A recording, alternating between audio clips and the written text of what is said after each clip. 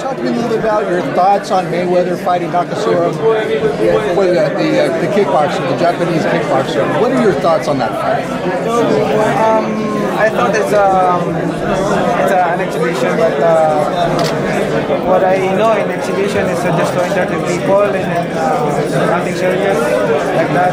Akala ko uh, exhibition lang pero uh, ang pagkalam ko sa exhibition ay laro-laro lang at uh, people, ang tao, ang mga audience at uh, hindi sa sa nakaw. And lastly, last question: um, Is this fight with Broner maybe a warm up to a rematch with Mayweather? Uh, I'm not thinking about that. Uh, I'm not thinking about that uh, with uh, the next fight. What I'm thinking is to focus. Uh, and give a good, a good, a good show to the fans.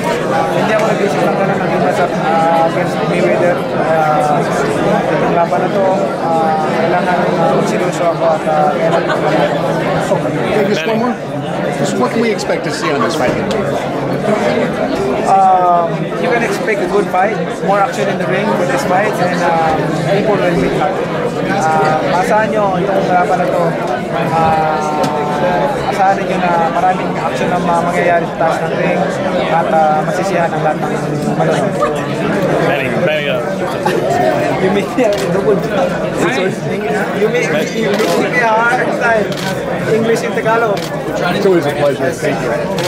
Good to see you. Good to see you.